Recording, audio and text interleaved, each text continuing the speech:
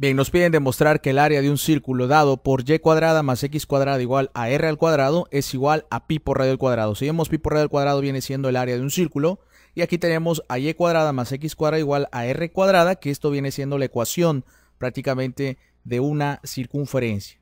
Ok, tenemos estos datos y lo que vamos a hacer primero va a ser despejar a y de esta ecuación y vamos a ver qué es lo que nos queda.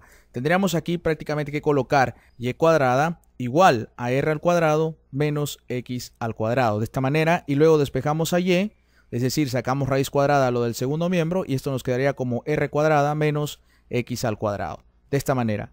Entonces, sabemos nosotros que esta circunferencia o este círculo, acuérdense que círculo viene siendo el área delimitada y circunferencia prácticamente el contorno.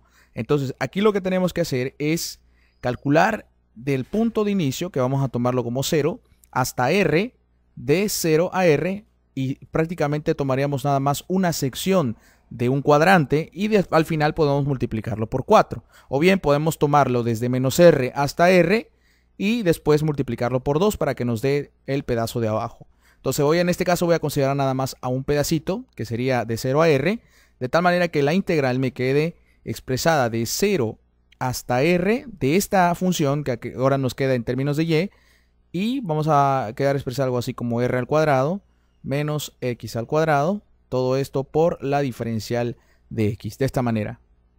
Entonces, si observamos a simple vista, esto se trata de una integral por el método de sustitución trigonométrica y lo único que necesitamos verificar es ver qué cambio tenemos que hacer. Ahora, aquí tenemos una tablita, voy a mostrar aquí una tablita, esta que tenemos acá, y si nos damos cuenta, para este tipo integral, donde r al cuadrado puede ser la variable b, por ejemplo, para este, este tipo de ejemplo que tenemos aquí. Entonces, iniciamos con b al cuadrado, luego se resta a donde está acompañado con x cuadrada. Entonces, prácticamente sería esta opción que tenemos aquí. ¿ya? b cuadrada vendría a ser r cuadrada, a cuadrada vendría a ser 1, puesto que no hay ningún coeficiente aquí.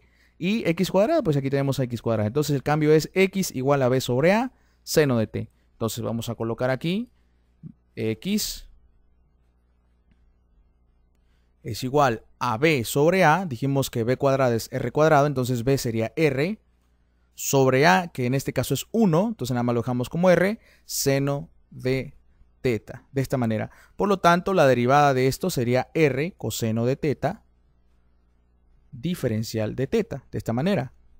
Ahora, teniendo estos datos, podemos regresarla a esta integral y ver qué es lo que ocurre. Aquí nos quedaría la integral de 0 a r de r al cuadrado menos el valor de x al cuadrado que sería x r seno de teta al cuadrado sería r cuadrado seno cuadrado de teta de esta manera y aquí cerramos la raíz y colocamos la diferencial de x que lo acabamos de calcular aquí que es r también r coseno de teta diferencial de teta. Por lo tanto, esta integral que está aquí la podemos empezar a simplificar un poco más. Y aquí nos quedaría de 0 a r de lo que tenemos acá. Podemos factorizar a r al cuadrado de tal manera que nos quede 1 menos seno cuadrado de teta.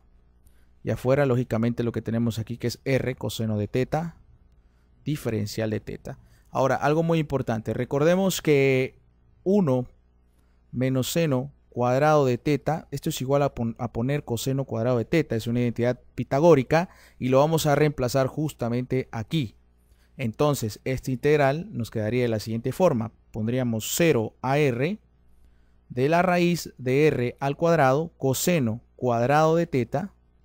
Cerramos la raíz y colocamos r coseno de teta diferencial de teta. De tal manera que ahora esta integral que tenemos aquí nos quede de 0 a r esta r cuadrada se va con la raíz y este coseno cuadrado también se va con la raíz. Aplicamos la propiedad eh, de la raíz en un producto y nos quedaría entonces r coseno de teta por r coseno de teta, diferencial de teta, de esta manera. Entonces lo que nos queda, esto sería de 0 a r, de r cuadrada, coseno cuadrado de teta, diferencial de teta. Entonces en el otro video seguimos con la segunda parte, por eso que no puedo subir videos un poco largos en lugares donde estoy el internet es un poco lento, entonces lo dejamos en el siguiente video.